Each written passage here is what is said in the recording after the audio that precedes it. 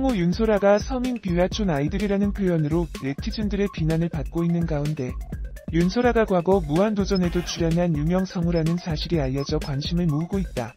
윤소라는 22일 자신의 트위터에 오늘도 우리 아파트 놀이터는 주변 서민 빌라촌 아이들이 몰려와 마스크도 없이 뛰어놀고 있다. 얘들아, 마스크 써라는 글을 올렸다. 이에 네티즌들은 서민 빌라촌 아이들이라는 단어에 위화감을 표시했다. 네티즌들은 이 말이 진짜한 건가요? 논란이 될 수 있는 발언 아이들에게 특히 쓸 말은 아닌 것 같다. 대체 어디에 사시길래 50억 아파트 사나? 등의 반응을 내놓으며 비판했다. 이에 윤소라는 대체 무슨 오해들을 하시는지 걱정이 되어 쓴 거다. 어린 아이들이 마스크 없이 노니까 해녀 감염될까 바라고 설명했다. 이어 마스크 없이 노는 아이들 걱정돼서 쓴 건데 다들 민감하니 오해를 한 것 같다. 아이들이 뛰어노느라 마스크를 안 써요라고 덧붙였다. 해명에도 불구하고 비판이 이어졌고 그녀는 결국 트위터 계정을 비공개로 전환했다.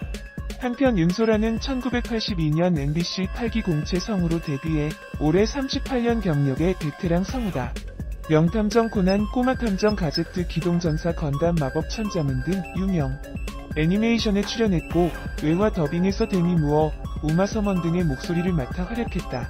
지난 2015년 MBC 무한도전 멤버들과 함께 외화, 비긴 어게인 더빙에 참여하며 예능에 출연하기도 했다.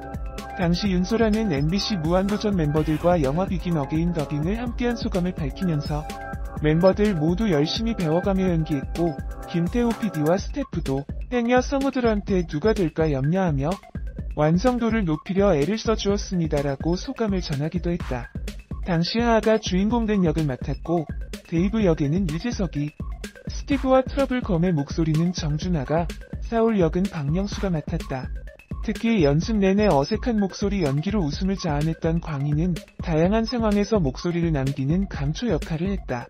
윤소라의 글을 본 한 네티즌은 서민 아이들이 마스크 안 쓰고 중산층 이상 아이들의 건강을 위협하는 게 걱정인 듯이라고 비난했다. 윤소라의 논란 발언은 이번이 처음이 아니다. 과거에도 한국 남성을 변태로 일반화하는 발언을 해 도마 위에 오른 적이 있었다. 윤소라는 생각해보면 예전부터 남자들 몇이 있는 자리면 아무렇지도 않게 튀어나오던 음담 패설 중 많은 부분이 거의 강간이 소재였네. 게다가 낄낄거리며 내뱉던 말 중에 참 혐오스러웠던 돌림방이란 말. 겉으로 보기엔 멀쩡한 우리나라 보통 남자들의 정서가 그랬다라는 글을 올렸었다. 2015년부터는 팟캐스트 윤소라의 소라소리를 통해 국내의 소설과 수필의 오디오북을 제작하고 있다.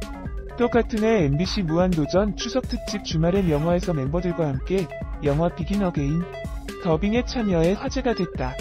당시 윤소라는 미리암 역을 맡아 하하와 호흡했다. 비난이 계속되자 윤소라는 대체 무슨 오해를 하시는지 걱정이 되어 쓴 거다. 어린 아이들이 마스크 없이 노니까 해녀 감염될까 바라며 마스크 없이 노는 아이들 걱정돼서 쓴 건데 다들 민감하니 오해를 한 것 같다. 아이들이 뛰어노느라 마스크를 안 쓴다고 해명했다. 하지만 논란은 사그라들지 않았고 윤소라는 자신의 트위터 계정을 비공개로 전환했다. 성우 윤소라가 서민 뷰라촌 아이들